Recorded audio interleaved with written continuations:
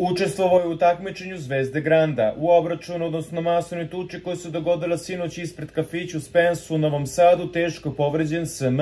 Kako se nezvanično sazna iz više izvora, teško povređeni mladić je novosadski pevač Strahinja M iz Veternika. Strahinja je sinoć bio gost sa svojim društvom u lokalu kada je izbila masovna tuča među gostima. Za sada još nepoznata osoba nožem i mladom pevaču zadala ubod u predelu srca. Policija je privela više osoba i radi na rasvetljavanju ovog slučaja, kaže izvor kurira.